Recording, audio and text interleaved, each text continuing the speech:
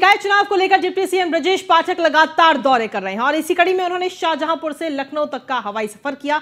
इस दौरान ब्रजेश पाठक ने न्यूज़ इंडिया से खास बातचीत की है। आपको दिखाते हैं।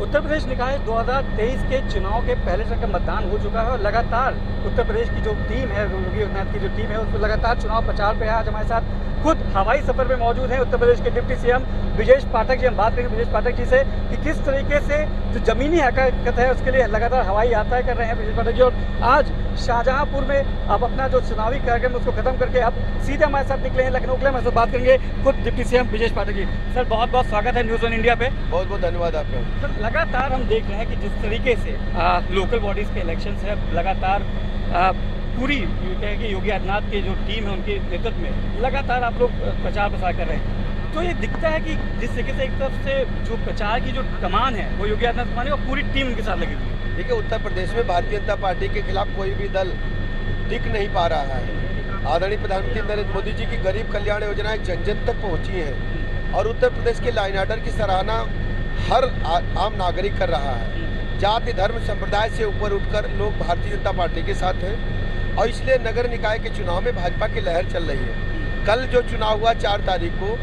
दस के दस नगर निगम और नगर पंचायत और नगर पालिका परिषदों में पार्षद, सभासदों सहित भारतीय जनता पार्टी जीत करके आ रही है और द्वितीय चरण के चुनाव में भी बीजेपी बहुत अच्छा करेगी सभी नगर निगम हम जीतेंगे नगर पालिका नगर पंचायतों में भी हम बहुमत के आधार पर एक बड़े संख्या में जीत करके पिछली बार से अधिक सीटें जीत करके हम लोग आ रहे हैं। क्योंकि देखा गया है कि भारतीय जनता पार्टी में लगातार विकास की बात होती है मुद्दों की बात होती है पर कहीं ना कहीं विपक्ष की बात करेंगे तो फिर से कास्टिज्म उत्तर प्रदेश की बात करेंगे तो कास्टिज्म और जातीय समीकरण और साथ ही क्षेत्रीय समीकरण को क्यों लाती है विपक्ष?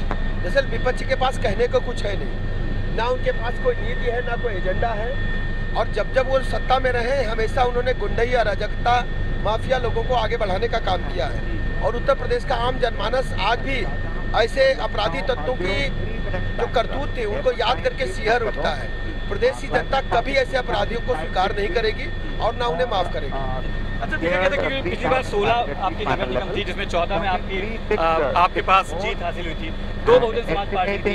इस बार बहन जी असल में निकलती तो है नहीं प्रचार में निकली तो है नहीं पर कैंडिडेट के मामले में देखेंगे तो एक बार मुस्लिम कैंडिडेट्स को ज़्यादा इस बार हम सत्रह के सत्रह नगर निगम जीतेंगे और जो उत्तर प्रदेश सरकार ने सरकार की योजनाओं को धरातल पर उतारा है। और यूपी के लाइनर को लेकर के जनता में प्रसन्नता है। नगरों का अगर विकास कराना है तो माननीय प्रधानमंत्री नरेंद्र मोदी जी ने हंड्रेड स्मार्ट सिटीज़ दिया है।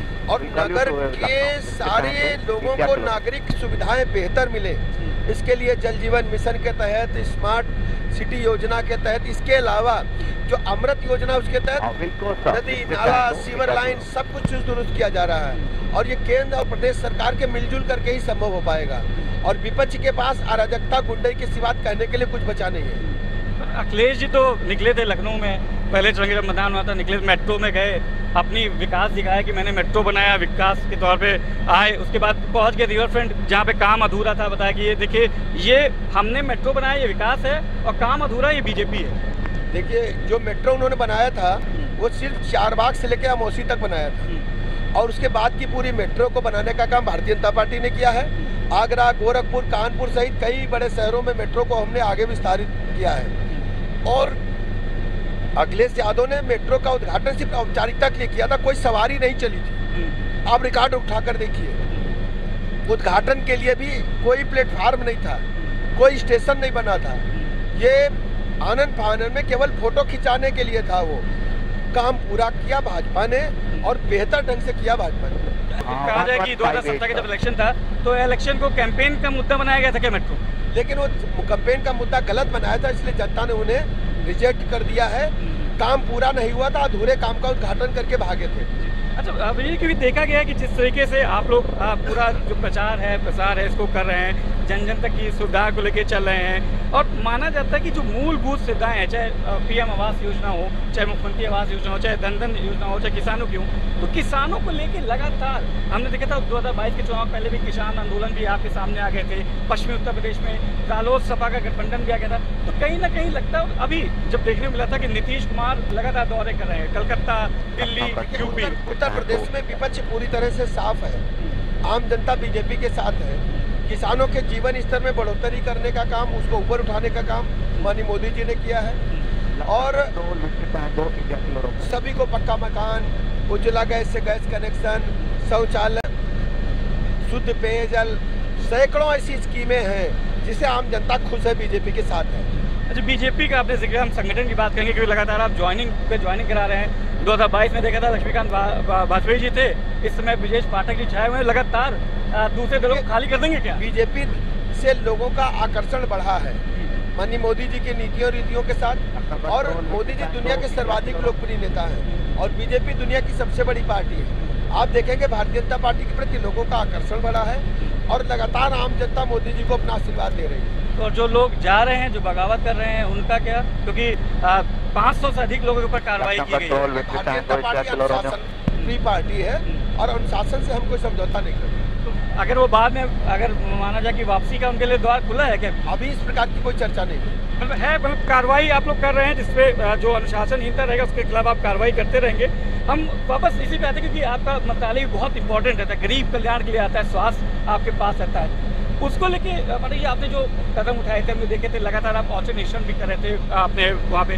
तो अभी जो पहले स्थिति में स्वास्थ्य मिला था 2017 की वाली बात करिए और आज की बात। आप आज स्वास्थ्य सेवाएँ प्रदेश में बेहतर हुई हैं। सभी अस्पतालों में चिकित्सक समय से बैठ रहे हैं दवाइयाँ उपलब्ध हैं। माताओं बहनों का बेहतर इलाज हो रहा है। हमारे ड्रामा के मरीज़ भी बेहतर इलाज पा रहे हैं। और विशिष्ट चिकित्सा संस्थान भी प्रदेश के लोगों को क्योंकि क्योंकि देखा गया था कि जिस तरीके से इक्वली क्योंकि चुनाव के वक्त ही निकलती हैं बातें निकलती आती है कि लगातार आप दौरे करते हैं। विपक्ष हमें से कहता है कि आप लोग भी अंदर ही रहते हैं पर जिस तरीके से मुख्यमंत्री योगी आदित्यनाथ और आप लोग ने टीम बनाई गई थी आप और केशव जी दोनों टीम के हिस्से थे। लगातार मंडल वाइज आप लोग को डिवाइड करके लगातार आप लोग समीक्षा कर रहे थे। इसका इफ़ेक्ट दिखता है। यही कारण है कि भारतीय जनता पार्टी लगातार 2014 से आई है। देखिए हम लोग लगातार जनता के संपर्क में रहते हैं और हमारी जो सरकारी योजनाएँ उनको धरातल पर परखते रहते हैं। और इसीलिए जनता लाभान्वित हो रही है और वो बीजेपी के साथ उठ खड़ी हुई है। बीजेपी का साथ जनता के साथ है और जनता के लिए ही भारतीय जनता पार्टी लगातार काम करती है। एक और क्योंकि चुनावी सवर है बात हो रही विपक्ष की और विपक्ष की। अब कहा जाता है कि एक पर्टिकुलर जैसे पहले कहा जाता था इटावा में सारा कहीं ना कहीं केंद्र रहता था। अब बताया जाता है कि गोरखपुर में केंद्र रहता विपक्ष का कहना है? अब पूरे प्रदेश में चरखी विकास हो रहा है। हर ज़िले को हम विकसित कर रहे हैं हर गाँव को विकसित कर रहे हैं। कोई विशेष क्षेत्र हमारे लिए नहीं है लेकिन सभी जिलों का सभी क्षेत्रों का चतुर्मुखी विकास हो रहा है। रोड की बात करेंगे क्योंकि विकास बिना रोड के विजय पॉसिबल नहीं है। रोड आम जन के लिए होती है। आप लोगों ने लगातार हमने देखे कि जो एक्सप्रेस वेज बने उसको लेके भी बड़ा सवाल हुआ। आगरा एक्सप्रेस वे बना वो अपना ग्लास रख के जाते हैं अखिलेश यादव झलकता नहीं है। उसके बाद पूर्वांचल बनता है बुंदेलखंड बनता है वहाँ जाते हैं ग्लास बताते झलक रहा है। सभी सड़कें अच्छी बनी है। सड़कें बनी कहीं कोई दिक्कत नहीं है। आज सर्वाधिक एक्सप्रेस वे वाला स्टेट यूपी ही है। तो अभी स्टेट यूपी आप बता रहे हैं। और मैं देख रहा हूँ कि जिस तरीके से अखिलेश जी जिस तरह से तेज तरार आप पे हमला करते हैं, आप लोग के ऊपर हमला करते हैं। चाहे वो सदन की बात हो, चाहे उसकी बात हो लॉ एंड ऑर्डर लेके हम बात करेंगे। ये क्योंकि लॉ एंड ऑर्डर लेके पिछले खासे दिनों में जिस तरह से मुख्यमंत्री जी एग्रेसिव दिखे थे कि मिट्टी में मिला देंगे। कानूनी प्रक्रिया के अपने काम हुआ है, चाहे हम जिसकी बात करेंगे इनकाउंटर्स हुए, उनके ऊपर सवाल खड़े किए गए। काम करें तो दिक्कत, काम ना करें तो दिक्कत। विपक्ष का यही काम है। देखिए, विपक्ष के पास कहने को कुछ है नहीं। वो पूरी तरह से जब सत्ता में रहते हैं तो अपराधियों के चंगुल में रहकर उनको ही आगे बढ़ाने का काम करते हैं। प्रदेश की जनता ने समाजवादी पार्टी को पूरी तरह से रिजेक्ट कर दिया है। तो संरक्षण प्राप्त था आपका ये कहना कि अखिलेश सरकार में या बसपा सरकार में गुंडे माफिया थे वो संरक्षण प्राप्त थे?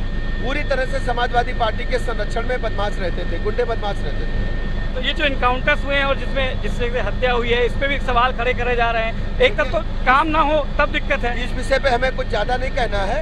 सब कुछ माननीय न्यायालय के अधीन हो रहा है। जो माननीय न्यायालय आदेश करेगा उसका हम कानून की प्रक्रिया से जो काम होगा वो हाँ, कानून हम पूरी तरह से पालन करेंगे और किसी को भी कानून का उल्लंघन नहीं करने देंगे। अभी देखा गया था क्योंकि 10 10 सीटें थी। आ, आप ले सकते हैं पानी जी।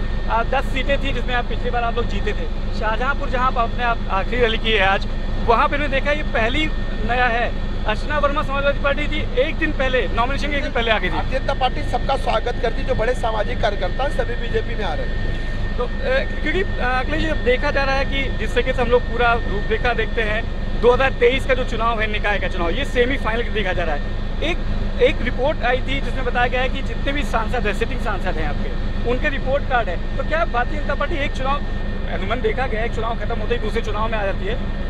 लोकसभा के कैंडिडेट्स के लिए भी अभी से प्रक्रिया चालू है? रिपोर्ट्स कार्ड मांगे गए मैं अभी इस बात की अध्यक्ष जी जानकारी दे पाएँगे। अभी हमारे पास इस प्रकार की कोई चर्चा नहीं आई। मतलब तैयारी आप लोग की लोकसभा की भी है? हाँ, तैयारी हमारी हमेशा चुनाव के लिए रहती है और चुनाव में हम लोकसभा के चुनाव में 80 में से हम 2014 वाला रिज़ल्ट दोहराएँगे और 75 से अधिक सीटें जीतेंगे। निकाय चुनाव में हम देख रहे हैं कि आपको विपक्ष को खाली करने की एक ज़िम्मेदारी कैसे दी गई है। नहीं नहीं क्योंकि आप लगातार कर रहे हैं। बड़े सामाजिक कार्यकर्ता अच्छा काम कर रहे हैं और बीजेपी में आना चाहते हैं उनका हम स्वागत करते हैं अ, उनका जो स्वागत रहेगा वो बी- ब्रिजेश पाठक जी के द्वारा किया जाएगा। हमें पार्टी ज़िम्मेदारी जो हमें पार्टी का आदेश है पार्टी जो ज़िम्मेदारी देगा उसका मैं निर्वहन करूँ। हूँ विजय जी क्योंकि देखा गया आपके ऊपर काफ़ी ज़िम्मेदारी रहती है। लगातार आप जनता के संपर्क में रहते हैं। बड़ा कुछ हमने देखा है। थोड़ा सा क्योंकि पॉलिटिक्स से हट के बात करते हैं क्योंकि विजय जी को हम लोग भी बहुत पहले से देखते आ रहे हैं बड़े हुए हैं आपको देखते हुए। छात्र नेता से आज उत्तर प्रदेश के डिप्टी सीएम तक का सफ़र। ब्रिजेश पाठक कैसे देखते अच्छा है लगातार लोगों के संपर्क में रहना अच्छा लगता है कहीं कोई दिक्कत नहीं तो उसमें कुछ चीज़ें हैं जो अभी आपने कभी सोचा नहीं होगा क्योंकि छात्र जीवन में थे हम, हम मुझे याद है मैं आपको देखता था तो सफारी सूट आपका बड़ा फेवरेट हुआ करता था सफ़ेद सूट में तमाम जगह दिखते थे। अब उस उस दौर से जब आप देखते थे लोगों के बीच क्योंकि लोगों के बीच तो आप अभी भी हैं उसके बाद धरातल से आज कहाँ हैं आप? देखिए अपने आप समय के साथ चलना होता है और ज़्यादा से ज़्यादा लोगों को संपर्क करना है लोगों को केंद्र प्रदेश की सभी योजनाओं से लाभान्वित कराना हमारा मुख्य लक्ष्य है। तो, अ, क्या यही मुख्य कारण है विजय जी की लोगों का आपसे जुड़ाव लोगों लोगों के संपर्क में रहना उनके दुख दर्द में शामिल होना हमारा लक्ष्य रहता है। हम सबके संपर्क में राउंड द क्लाक रहते हैं। यह था तो नहीं कि आने समय में हम लोग ब्रिजेश पाटिल जी को बदला हुआ देखे यही लगता है कि हमारे साथ जैसे बचपन से वैसे ही है। ऐसे ही रहेंगे ज़िंदगी भर ऐसे 2023 का चुनाव जीत पक्की है 2024 में अस्सी में से अस्सी देखिए 2024 में हम 2014 वाला रिज़ल्ट दोहराएँगे और पचहत्तर से अधिक सीटें जीतेंगे।